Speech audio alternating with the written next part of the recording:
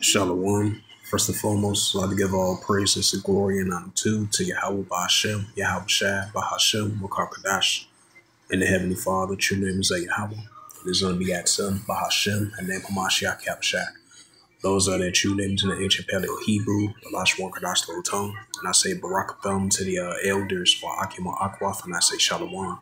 And this is a uh, quick sit down lesson of Romans 12, verse 2, and that's going to be the title of the quick sit down lesson.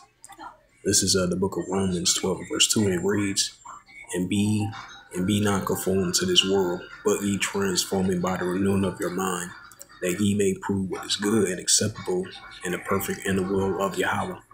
Right, especially that pertains to the children of Israel, the Heavenly Father's people, the sons and daughters of the true and power, which is the Heavenly Father. True name is Yahweh, the true creator in the heavens and the earth. Really speaking to his people, the uh, Israelites you know, uh, be not conformed to this world, but being renewed in your mind.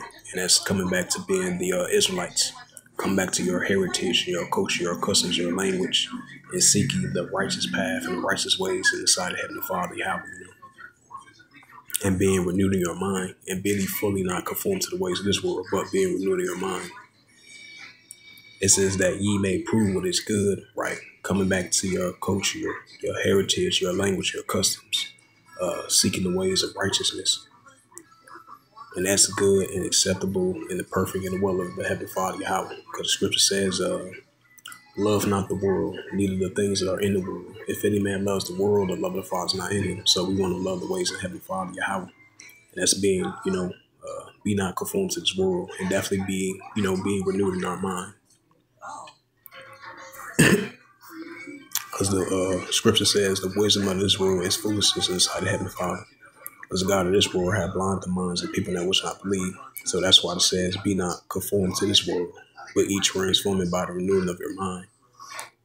And learn the righteous ways and the righteous path of the Heavenly Father Yahweh, as you being the uh, Israelites, the 12 tribes of Israel from the northern kingdom and the southern kingdom.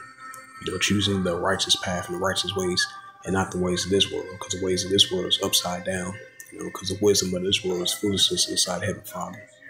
Because the God of this world have blind the minds of people that wish not believe. So be not conformed to this world, you know, be be renewed in your mind, and then ye may prove what's good and acceptable and perfect in the will of Yahweh. So with that, hopefully this uh, quick sit down lesson was edifying of uh, Romans 12 verse 2, and that was the title of the sit down lesson. So with that, I would like to give all praises and glory and honor to to Yahweh Bahashem, Yahweh Shai, Bahashem, Bakakadash. And the Heavenly Father, true name is Yahweh, and his unbegotten Son, Bahashem, a name Hamashiach Kabashai. Those are their true names in the ancient Paleo Hebrew, the Last Wakadash Little Tongue. And I say Barakatham to the uh, elders, while I came out Aquaf. Until next time, I will say Shalom.